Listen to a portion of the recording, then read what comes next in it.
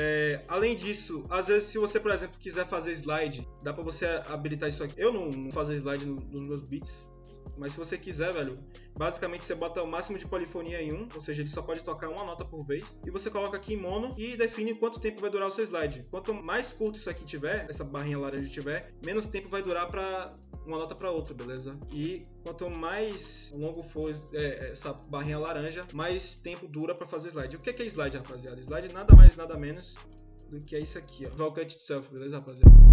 Tá vendo? Ele deslizou, não simplesmente foi de uma, uma para outra. Mas como eu disse, eu não uso isso.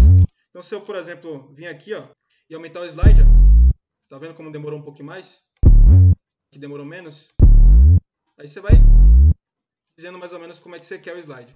Mas eu não uso, então eu vou desativar isso.